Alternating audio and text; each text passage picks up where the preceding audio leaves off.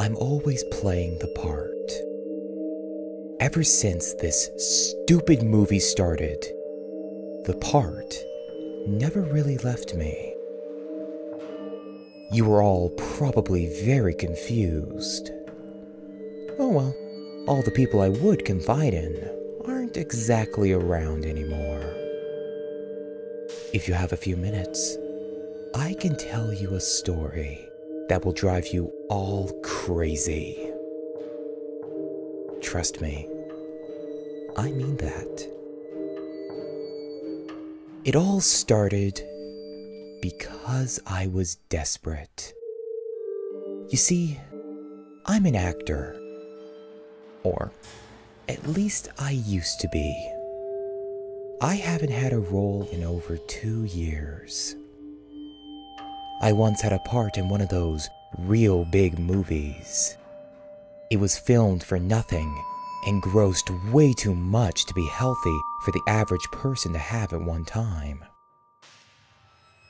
I had been riding on that, but my addictions to fast cars, hot women, and cocaine wasn't exactly feeding the piggy bank.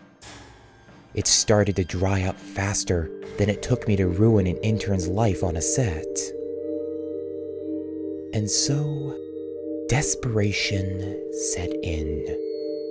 It all started with the average frantic thoughts. What if my wife leaves me? What if my cars get repoed? What if they take away my house? What if I run out of coke? Yeah, those may or may not have been listed in the order of importance. So I scrambled, reaching towards the bottom of the barrel for a part to feed the pig. You would think I'd find some romantic comedy or a buddy cop movie to satisfy me. But no, I found a slasher flick. Yay me! Fake blood that makes you itch, and makeup applied by kids that were practicing on mannequin heads two months ago. But something was different about this one. Something just didn't sit right. It's hard to explain. But I brushed that away. I signed for the role of the slasher himself. A beastly fellow that was basically the offspring of one Mr. Myers and Miss Voorhees. His story was stupid and convoluted, like every slasher flick ever. Something about a abusive father an absent mother, and some alcoholic bullies. That sort of thing. He was the victim of a previous slasher, which left him permanently scarred, both mentally and physically. The mental scarring is simple enough to understand. I mean, he witnessed almost his entire town die. That would drive anyone crazy. The physical scarring was a ripped out left eye, two gashes on the right cheek that formed an X, and a missing nose.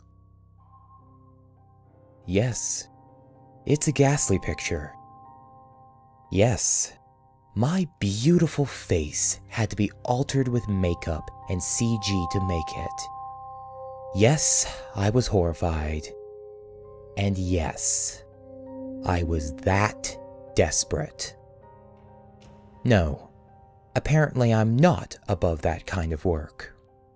It would take almost two hours in the dressing room to pull off this look, mind you. Half the time I was sleeping, and most of the time you only saw the slasher's face for a millisecond. Oh, it was a grueling process. After about three weeks of filming, we finally filmed the first murder scene. Up to this point, it was all day scenes that set up the backstory, and the director didn't think of shooting the night scenes when things started to get dark. It was a simple enough scene to pull off. The sorority girl, back from visiting from college would see me on the side of the road looking like a homeless man, would pull over to see if I was okay. And then I would follow her home and murder her family off screen while setting a trap for her to stumble upon the bodies. If that sounds overly familiar, don't worry. I already know. The trap was a bit grisly, mind you. She had to walk into her parents' room to see the dog lying on the bed in a pool of blood. She would run out of the room, but her father was now hanging upside down at the entrance of it. She would then scream and back away towards the window where I was watching as the body of her mother fell from the closet. I would jump through the window at that time and chase her throughout the house until I cornered her in the bathroom and did the deed. Yes, I did get the shivers. Luckily, the shooting process allowed the scene to be broken up in a variety of camera angles, so you truly never got to see the entire scene altogether until it was edited. So, no goosebumps. The thing that shook me, though, was watching the trap play out. You feel a sense of entitlement knowing that you're playing the guy who put that together. Truth be told, I wanted more. Screening continued, more murder scenes were shot, and the movie was finished. But my yearning grew more and more throughout the course. I started small rabbits, stray cats, and a dog here and there. I never dreamed of actually hurting anybody. Well, I did dream of hurting people. Those are just dreams, right? I'm not crazy. No. Not yet. About three rabbits, two dogs, and 15 cats later. Yes, my town did have a cat issue. I found myself at peace. What a marvelous thing I had done! I vented my anger, got my gratification, and helped my town with the cat problem. Things were going swimmingly, and the revenue from the movie turned out to be smashing. It grossed something like $2 million. I had a free ride for at least a year with me playing the lead role. Then they contacted me for a sequel. Oh yes, a sequel. A Slasher Flick 2 to go along with Slasher Flick 1. It was brilliant. I jumped at the chance to play the role again, and I felt at home in the makeup and prop clothes the character wore. I would even creep up on the stage directors and crew and scare them for a bit of fun in between scenes. And I again watched the traps roll out and the bodies of the actors that played the part flop down. But something was amiss with the fifth murder scene. I was supposed to chase a young man through a gym until he fell down the stairs to the locker room. Now, usually in cinema, scenes like this would be shot with either padding or dummies. But the director wanted none of that. The plan was to make him fall slowly down the stairs and then speed it up in the editing room. But it didn't work that way. As I gave chase, he truly fell down the stairs and snapped his neck on the railing.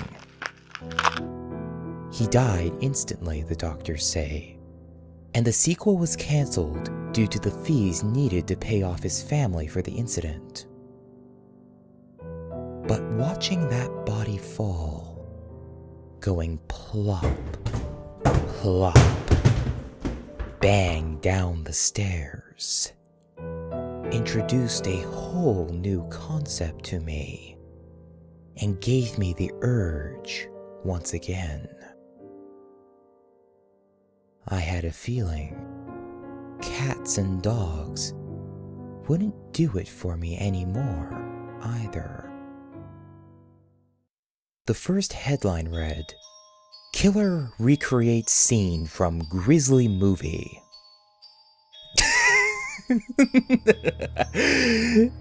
it made me laugh. It was only one column behind a bunch of ads for cars you could never afford and appliances you only get one use out of. But it was still there. What I did was recreate the first murder from the slasher flick I starred in, right down to the letter. It was brilliant. The shrieks were real. There was no pause for an angle change. There were no floodlights. There was no fat man sitting in the director's chair. There was just me. Four dead bodies.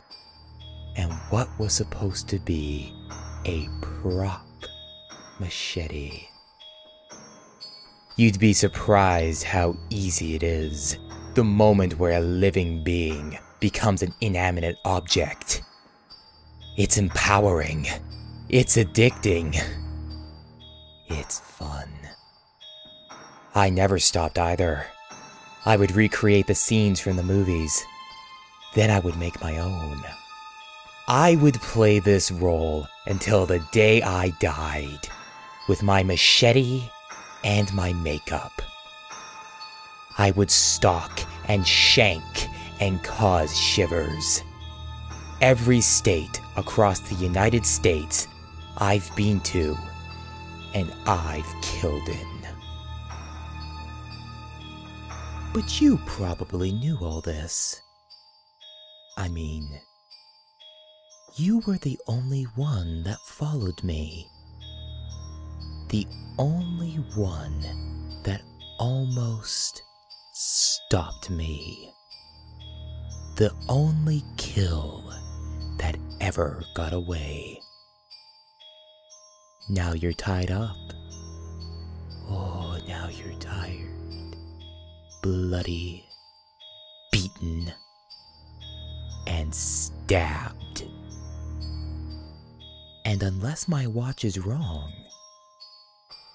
you've probably been dead for over 20 minutes now.